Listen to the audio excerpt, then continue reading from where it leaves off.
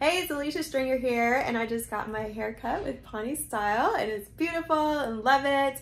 And I love what she does for me, and I wanted to share with her. And one question What is the one thing you do to grow your business? Hi guys, I'm Pani Larosski with the Pani Style in Solo Salon Miranda, which is in Cinco Ranch. So what I do, usually I try to take a picture before and after and then post it on Instagram and Facebook. And I'll try to take a video after, which I know I'm supposed to take a video before too. Yes, so just sharing the results of having her clients happy and great results as you can see and the amazing job she did with my hair. So make sure you connect with Pani, give her a try at um, some of her services. She does amazing work and she really Thank knows you you and who she is. So thank you so much for sharing what the one thing you do to grow your business and looking forward to seeing you have more smiling faces here too.